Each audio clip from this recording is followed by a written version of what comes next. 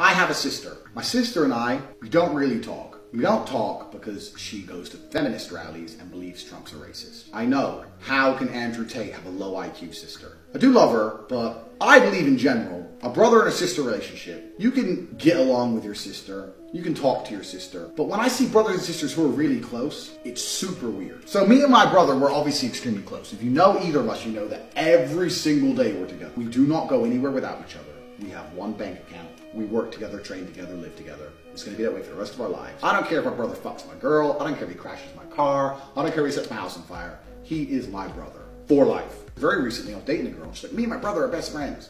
What do you talk about? I have nothing to talk to women about besides either sleeping with them or the, wait. Yeah, that's it. I'm talking to you eventually so we fuck. Or we fuck so I continue to talk to you so we can again. I have no interest in talking about anything else. Oh, tell me what happened in Vampire Diaries today. Like, what does a brother and sister sit and talk about?